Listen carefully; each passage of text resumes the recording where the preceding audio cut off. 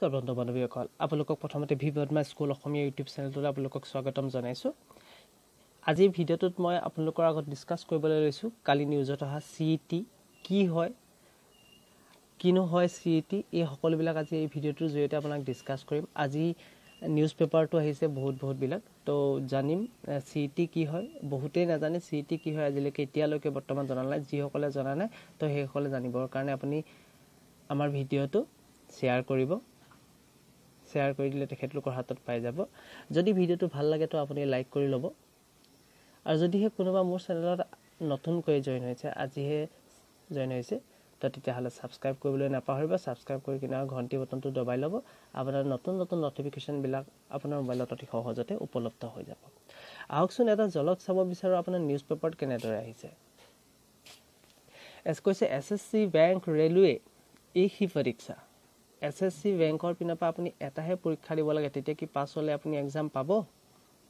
নকৰি পাব? নে নাপায়? নে আৰু এক্সাম দিব লাগিব? এই সকলোবিলাক ডিছকাছ কৰিম। প্ৰথমতে আহক এছ এছ চিৰ কাৰণে কি কি এক্সাম থাকে? টায়াৰ ওৱান টায়াৰ টু থাকে। বেংকৰ কাৰণে প্ৰিলিমছ তাৰপিছত মেইনছ থাকে। ৰেলৱেৰ কাৰণে C B T one C B T two থাকে। সকলোৱে জানে। হয়তো বহুতে দিছে। তো এই পৰীক্ষাবিলাকক একেলগ কৰি যোনটো টায়াৰ ওৱান হওক প্ৰিলিমছ হওক চি বি টি ওৱান হওক এই সকলোবিলাক মাথো এটাই পৰীক্ষা কণ্ডাক্ট কৰিব আপুনি বাৰে বাৰে দি থাকিব নালাগে। এই কথাটো কাৰণেহে এটাই পৰীক্ষা পাতিব আপোনালোকৰ আগত। আৰু তাৰপিছত হয়তো আপুনি মেইনছ দিব লাগিব নহ'লে টায়াৰ টু দিব লাগিব নহ'লে চি বি টি টু দি পিনি আপুনি পেপাৰ ক্লিয়াৰ কৰি নকৰি ল'ব লাগিব মানে চাকৰি ল'ব লাগিব। আপোনাক পৰীক্ষাটো যেনেকৈ চি বি টিয়ে পাতিছিলে আগতে এতিয়া পৰীক্ষাটো কোনে পাতিব বুলি ক'লে আমি চাওঁ। পৰীক্ষাটো পাতিব gov to set up set up কৰি দিছে নেশ্যনেল ৰিক্ৰুইটমেণ্ট এজেঞ্চিয়ে আপোনাৰ এক্সামটো এইবাৰ কণ্ডাক্ট কৰিব। Cabinet gives nodded for common eligibility test for gov job আপুনি প্ৰথমতে নেশ্যনেল এইটো এক্সামেই দিব লাগিব। এক্সামটো দিয়াৰ পিছতে আপুনি বাকীবিলাক ক্লিয়াৰ হ'ব। তো আপুনি বাৰে বাৰে বহুতবিলাক এক্সাম দি থাকিব নালাগে।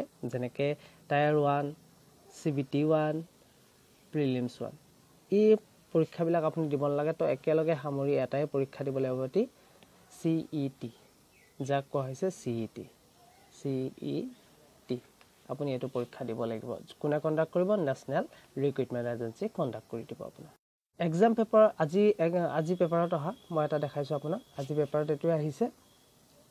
প্ৰথম নিউজ পেপাৰত আপুনি এইটোৱে দেখা পাব আজি আজিৰ দিনত। তো দেখাইছোঁ ছিংগুল এক্সাম ইয়াতে ছিংগুল এক্সাম আপুনি কণ্ডাক্ট কৰিব। To the national recruitment agency N R A will conduct to common eligibility test C E T দিব লাগিব ৰিক্ৰুইটমেণ্ট টু গভৰ্ণমেণ্ট জবছ আপুনি গভৰ্ণমেণ্ট জববিলাকৰ কাৰণে আপুনি এইটো দিবই লাগিব মাষ্ট বি এইটো এক্সাম আপোনাৰ যদি মই কওঁ এইটো এক্সাম কিমানলৈকে আপোনাৰ ভেলিডিটি থাকিব তেতিয়াহ'লে থ্ৰী ইয়েৰ্ছৰ কাৰণে ভেলিডিটি থাকিব। আপুনি থ্ৰী ইয়েৰ্ছ এইটো একবাৰ পাছ কৰিলে আপুনি থ্ৰী ইয়েৰ্ছৰ কাৰণে এপ্লাই কৰি থ'ব পাৰিব। তো থ্ৰী ইয়েৰ্ছ আপুনি যিকোনো এক্সামত প্ৰিলিমছ টায়াৰ নিদিয়াকৈ আপুনি মেইন এক্সামত বহিব পাৰিব। থ্ৰী ইয়েৰ্ছৰ ভেলিডিটিৰ ভিতৰত যদি তিনি বছৰৰ ভিতৰত কৈছে এক বছৰত দুবাৰকৈ কণ্ডাক্ট কৰাব পৰীক্ষাটো আপুনি দুইবাৰেই দিব পাৰিব। আপোনাৰ কাৰণে ধৰা বন্ধা নহয় যে আপুনি একবাৰেই দিব ইয়াত আপুনি দুইবাৰে এক্সাম দিব পাৰিব। দুইবাৰ দিলে আপুনি প্ৰথম ছাপ'জ ফিফটি পাৰ্চেণ্ট পাইছে তো নেক্সট আপুনি এক্সামত এইট্টি পাৰ্চেণ্ট কৰি ল'ব পাৰিব। কোনো কথা নাই। তো আপুনি এইটো পিছত এপ্লাই নকৰি এইটো এপ্লাই কৰিব পাৰিব। এছ এছ চিৰ কাৰণে বেলেগ হ'ব। সেইটো মই আপোনালোকক জনাই দিওঁ। এছ এছ চিৰ কাৰণে বেলেগ হ'ব বেংকৰ কাৰণে বেলেগ হ'ব সকলোৰে কাৰণে সকলো কাৰণে বেলেগ বেলেগ হ'ব। তো সকলো কাৰণে বেলেগ বেলেগ হ'লে এক্সামো বেলেগ বেলেগকৈ হ'ব তো এপ্লাইও বেলেগ বেলেগকৈ আপুনি কৰিব লাগিব। তো আপুনি এইটো নিউজ পেপাৰ কাটিং হয় আপুনি চাই ল'ব মই পি ডি এফটো তলত ভিডিঅ'ৰ ডেছক্ৰিপশ্যনত দি দিম আৰু বাকী ভিডিঅ'বিলাকৰ ডেছক্ৰিপশ্যনত মই দি দিম। আহকচোন এটা মই ভিডিঅ' আপোনালোকৰ আগত দেখাওঁ যোনটো কালি আপোনাৰ মিটিং হৈছিল তাতে আপোনালোকৰ ডিছকাছ হৈছিল চি ই টিৰ ওপৰত তাৰ এটা ভিডিঅ' আপোনালোকক মই দেখাব বিচাৰোঁ कैबिनेट की बैठक प्रधानमंत्री जी के प्रकाश जावड़ेकर अध्यक्षता में की हुई कोई और से बहुत होना। ऐतिहासिक फैसले लिए आज नौकरी के लिए जो युवा পি होते আই বি हैं নিউজ হয় এইটো उनको बहुत परीक्षाएं देनी पड़ती है মন দি শুনি ল'ব और আপোনালোকে उनको लगभग 20 रिक्रूटमेंट एजेंसीज है तो कोई चार पांच में अगर परीक्षाएं देता है तो उतनी परीक्षा उतनी जगह जाना ये सब समाप्त करने के लिए एक ऐतिहासिक फैसले में नेशनल रिक्रूटमेंट एजेंसी राष्ट्रीय এখেতে কি কৈছে যে আপোনালোকে আগতে এক্সামবিলাক যেতিয়া দিবলৈ যায় তেতিয়া বহুত জেগাত যাব লগা হৈ যায় আপোনালোকে প্ৰথমতে ছাপ'জ গুৱাহাটীত হ'ল আপুনি গুৱাহাটীত দিবলৈ যাব লাগিব ফিলিমছ এটা বেলেগ। এছ এছ চিৰ কাৰণে ক'ৰবাত গুৱাহাটীতে হ'ল আকৌ এছ এছ চিৰ কাৰণেও আপুনি বেলেগকৈ যাব লাগিব। তো অহা যোৱাৰ যোনটো কষ্ট সেইটো আপোনালোকৰ এটা ডিষ্ট্ৰিক্টতে নিজৰ ডিষ্ট্ৰিক্টতে আপুনি চি ই টি দিব পাৰিব। তো যেতিয়া নিজৰ ডিষ্ট্ৰিক্টতে চি ই টি দিব আপুনি মেইন যেতিয়া য'ত মেইনছ এক্সাম হ'ব তালৈ গ'লেই হ'ব। আপোনাৰ অহা যোৱাৰ খৰচা থকা খৰচা সকলোবিলাক এটা ৰিকুইপমেণ্টে আপোনালোকক এডাই কৰি দিব। গতিকে মই ভাবোঁ এক্সামটো ভালেই হ'ব। আপুনি চি ই টি যদি একবাৰ কোৱালিফাই কৰিলে তো তেতিয়া আপুনি মেইনছৰ কাৰণে আপুনি নিৰ্দিষ্ট বেলেগ বেলেগ জেগাত আপোনাৰ গ্ৰেজুৱেশ্যনৰ কাৰণে বেলেগ হ'ব এছ এছ এল চিৰ কাৰণে বেলেগ হ'ব এক্সামটো হাই ছেকেণ্ডেৰীৰ কাৰণে বেলেগ হ'ব এক্সামটো য'ত যেনেদৰে এপ্লাই হ'ব বিচাৰিব আপুনি তেনেদৰে এপ্লাই কৰি আপুনি মেইনছৰ এক্সামটো দিবলৈ যাব পাৰিব কৈছে राष्ट्रीय भर्ती संस्था ये परीक्षा लेने वाली कॉमन एलिजिबिलिटी टेस्ट ये लेगी इसका करोड़ों छात्रों को लाभ मिलेगा। छात्रों को यानी युवाओं को लाभ मिलेगा जो नौकरी के लिए आवेदन करते हैं। इसके बारे में विस्तार से जानकारी देने के लिए हमारे साथी जितेंद्र सिंह जी आए हैं। लेकिन मैं इतना ही कहूँगा कि ये मांग थी पूरे युवा पीढ़ी की सालों से,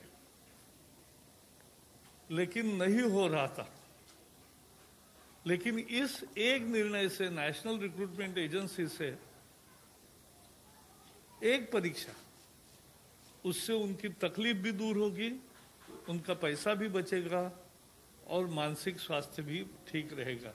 बहुत दौड़ धूप नहीं होगी और एक ही परीक्षा से उनको आगे जाने का मौका मिलेगा। historic decision of setting up a national recruitment Shri agency চান্দ মলয়ানে কি কৈছে has been তেখেতে কি taken ক'লে by ক'লে the পৰীক্ষাটোৰ বিষয়ে union চাওঁ cabinet. This marks a ca- paradigm shift in government recruitment. Next, please. Now, let us start with what are the problems.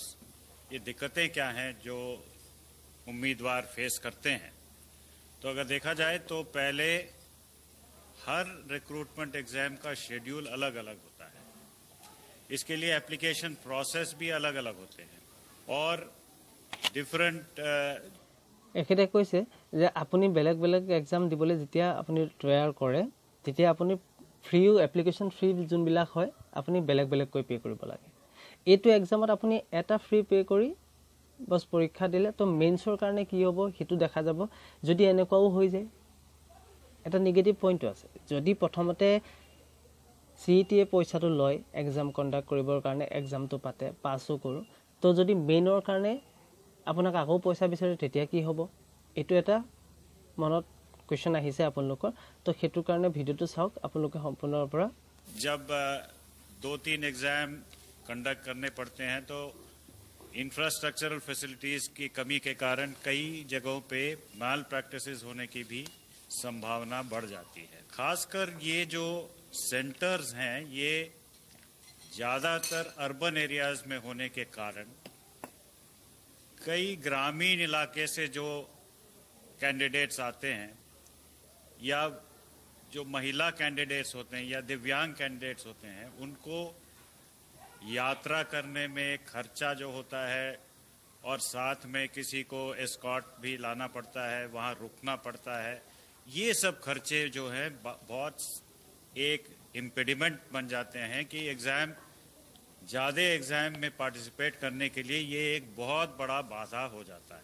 Fees अब हर exam का फ़ीस अलग होता है और उसका भरने का तरीका भी अलग होता है। कोई मतलब ऑनलाइन भर लेता है, कोई मतलब डीडी माँगता है या ऐसे कई दिक्कतें आती हैं। मल्टीपल फ़ीस देने पड़ते हैं। एग्जामिनेशन डेट्स कई बार क्लैश हो जाते हैं, एक एजेंसी और दूसरे एजेंसी के बीच। तो कैंडिडेट को ये फिर निर्णय लेना पड़ता है कि कौन सा एग्जाम छोड़ें और कौन सा एग्जाम दें बहुत ये इंफ्रास्ट्रक्चर की कमी भी महसूस होती है क्योंकि कुछ ही सेंटर्स में ये एग्जामिनेशन करवाए जाते हैं जहां पे कंप्यूटर फैसिलिटीज है তেখেতলোকৰ মুখেৰে আপোনালোকে শুনিলে ইয়াতে মই এটা ক'ব বিচাৰোঁ আজিকালি যদিও আপুনি এক্সাম দিব যায় তো এক্সাম দিলেও এনেকুৱা হয় আমি বহুতবিলাক এক্সাম দিওঁ ৰিজাল্ট নাহে এক্সামত গৈ পাম কম্পিউটাৰ বেয়া আপুনি যেতিয়া চি বি টি দিব যায় তেতিয়া হয়তো কম্পিউটাৰ বেয়া হয় বহুত গৰম হয়।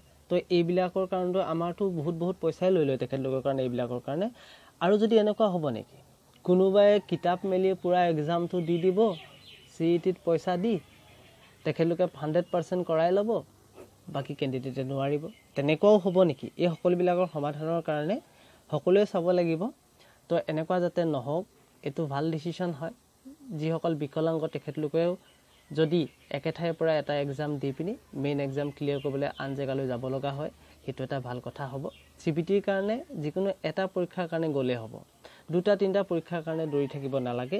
এই সকলোবিলাকৰ কাৰণে চি ই টি ভাল হ'ব। কিন্তু এটাই বেয়া হ'ব যদিহে কোনোবাই পইচা দি পিনি হাণ্ড্ৰেড পাৰ্চেণ্ট ফিল আপ কৰি লয় এক্সামটো পাছ হয় হাণ্ড্ৰেড পাৰ্চেণ্ট নাম্বাৰ লৈ যায় আৰু বাকীসকলে নোৱাৰে দিব। এই সকলোবিলাকো চাব লাগিব। তো আপোনালোকৰ কমেণ্টত কি আহে আপোনালোকৰ মনত মোক সকলোবিলাক তলৰ ভিডিঅ' কমেণ্টত জনাই দিব। সকলোবিলাক আকৌ মই এবাৰ ভিডিঅ'টোক লৈ পিনি ডিছকাছ কৰিম আপোনালোকৰ ৰায় আৰু আপোনালোকৰ মত জানিবৰ কাৰণে। ভিডিঅ'টো চালে সম্পূৰ্ণকৈ আপোনালোকক মই দেখালোঁ কোনে কৈছে আৰু কেনেদৰে কালি মিটিং হৈছিলে তো সকলোবিলাক আপোনাৰ আগত মই আজি ডিছকাছ কৰি দাঙি ধৰিলোঁ। এয়াই C E T to C E টিৰ সম্পূৰ্ণ প্ৰচেছ এনেকুৱাই হ'ব যে আপুনি এক্সাম এটাই দিব লাগিব হয়তো তাৰপিছত আপুনি মেইনছ এক্সাম দিব লাগিব। গতিকে ভালদৰে পঢ়িব লাগিব চি বি টি ভালদৰে দিব লাগিব। এইটো লাগু হ'ব কেৱল দুহেজাৰ একৈছ চনৰ পৰাহে। বৰ্তমান যি চলি আছে সেইটো ছেইম চলি থাকিব। দুহেজাৰ একৈছ চনৰ পৰা এইটো চেঞ্জ হ'ব বুলি কৈছে। একৈছ চনত কি হ'ব দেখা যাব? চ' তাৰ কাৰণে আপোনালোকৰ কমেণ্টত জনাব এইটো ভাল হ'ব নে বেয়া হ'ব। তো আজিলৈ ইমানতে সামৰোঁ। জয় হিন্দ জয় ভাৰত।